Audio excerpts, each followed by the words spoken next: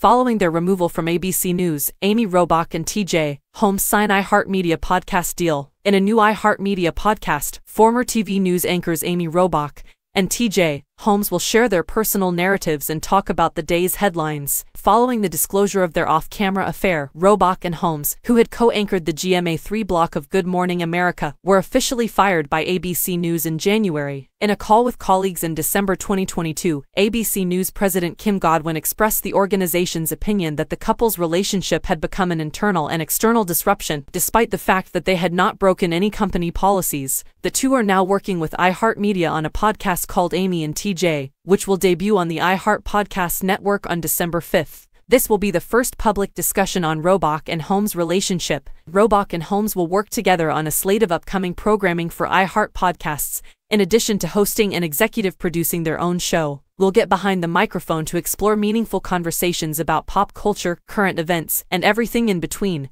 Robach and Holmes say, nothing is off limits, iHeartMedia declared when the agreement was announced. Later this year, Amy and TJ will be accessible on the iHeartRadio app and other prominent podcast platforms. It will be syndicated by iHeart Podcasts.